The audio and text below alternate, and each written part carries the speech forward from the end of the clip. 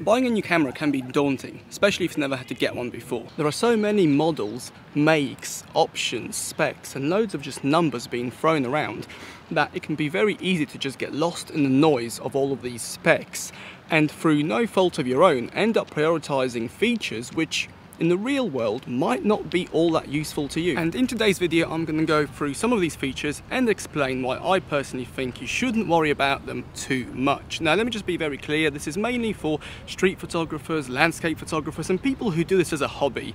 If you're doing sports photography or you're at the Olympics now, then chances are this video might not be for you. Also for this video, I am walking along the river from Battersea Power Station and just gonna see how far I can get. I reckon Tower Bridge, something around there will be good, and take some pictures, which I'll of course show you. Burst mode has its time and place, however more and more brands are pushing extremely high burst rates as these hero features for everyday cameras that most of us would buy. And to be honest with you, anything over 10 or even 15 frames a second, in my opinion, for the average photographer is just not going to be that useful. As an example, for my street photography, the most I would ever use is around 8 frames a second, and for me that's enough to get the right moment of a particular subject walking through a frame. The only time I've used more than 8 frames a second is around 15 frames a second taking photos of some seagulls flying around Tower Bridge, and that was probably once, maybe one more time.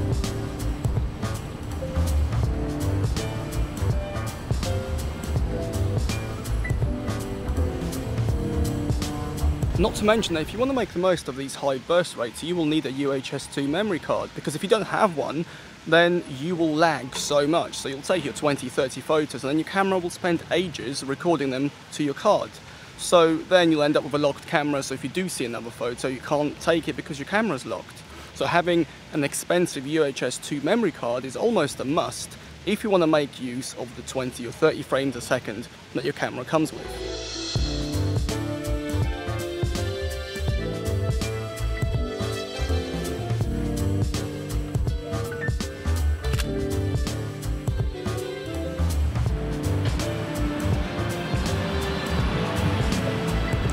Now, does all this mean that high burst rates are pointless?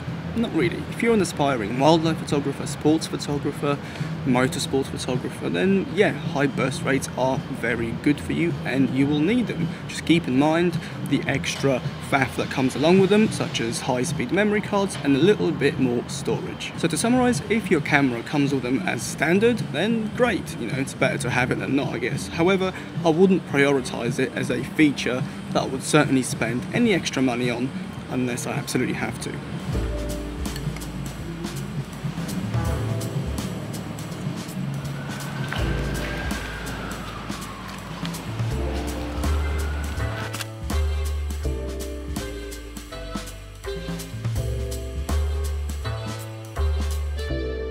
Similar to burst rate, focus points is another number that gets usually thrown around by manufacturers to entice people, claiming the more focus points are the better and you should spend more money on a camera with more focus points. Now what is a focus point? Well, within the camera when it's looking for somewhere to focus, it has a certain number of points where it can acquire focus. In theory, the more focus points you have, the more accurate the autofocus system can be, therefore what you want to be in focus has a higher chance of being in focus. The question is, the more focus points you have, does that really make it better? Now, if we compare a camera from, let's say, 10 years ago, which might only have 15 or 20 focus points, with, let's say, today's camera, which is, let's say, the X-T4, with 400 focus points, will you see a difference? Obviously, you will.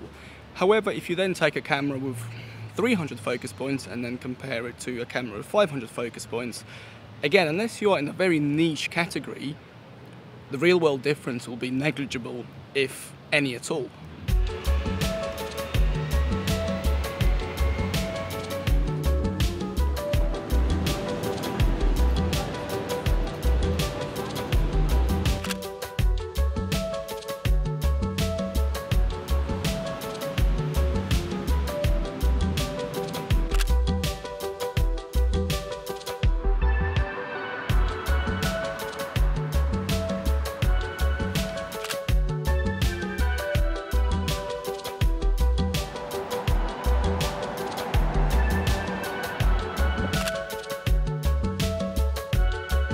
Another thing to keep in mind is that just because your camera comes advertised with 500 focus points, it doesn't mean that the mode you use the most will use all of those focus points. So for example, the X-T4 Fuji comes advertised with 425 focus points. However, the mode I use most of the time only uses 117 of them.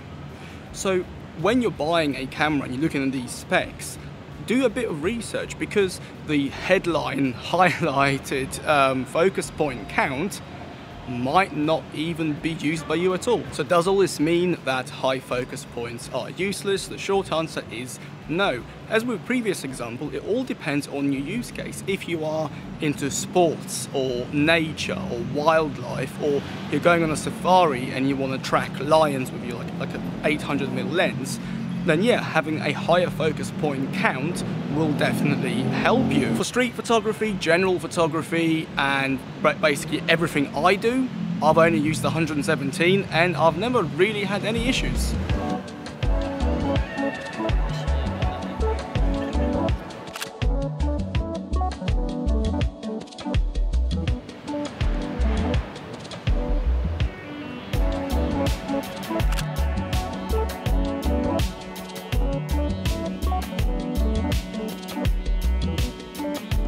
Now this next point does really depend on your use case. Before I go any further, what do I mean by extended ISO? Basically, if your normal camera ISO range is between 160 or 100, which is base, to around about 12,800, which is around about average, then that's your normal ISO range. Extended ISO, as the name suggests, goes above that and some cameras can go up to 50,000 and even into six figures. Camera companies will push these very high figures to you and tell you that by having such a huge extended ISO, you can see in the dark or into the future or something. And sure, a higher ISO will definitely let you shoot in lower light. However, what is the price that you pay for that? Well, here is a photo taken at base ISO. Here's a photo taken at the maximum of 12,800 ISO, at least on the X-T4. And here's a photo taken at the maximum extended ISO on the X-T4, which I forgot, but I'll write it here.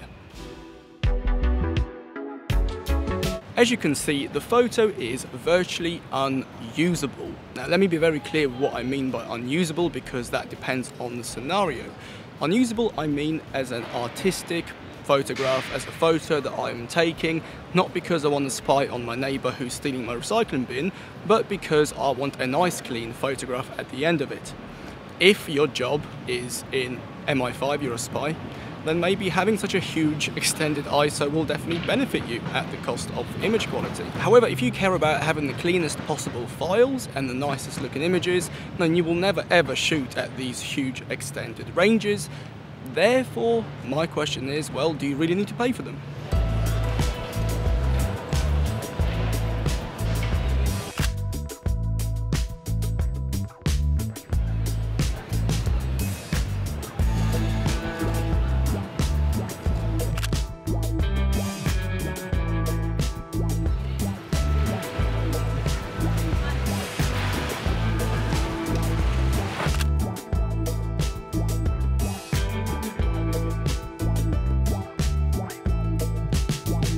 And finally, we have features which I honestly think are added to cameras just to make the spec sheet look a little bit bigger. Because I can't imagine any real photographer using things like toy effect or miniature or single color. I mean, sure, if you're buying a toy camera or if you're buying a very entry-level camera aimed at the masses, then yeah, I guess those features belong there. But when you're buying a pro-level camera, at least like an X-T4, and you get those features bundled in, it just seems like a little bit you know, of a spec sheet bump. Um, same can be said for features that we would find useful, like HDR or Pano.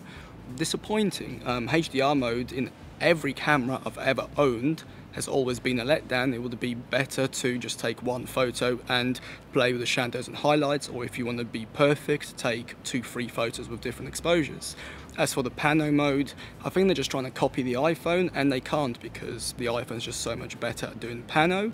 And again, if I was semi-serious about getting a decent pano photo, I'll just take a bunch of photos and stitch them in Lightroom. So if you do see these features on the spec sheet, don't assume they replace a proper technique of doing it manually. And certainly don't think they're worth the money that they might be asking for that camera if a different version without those features costs a little bit less.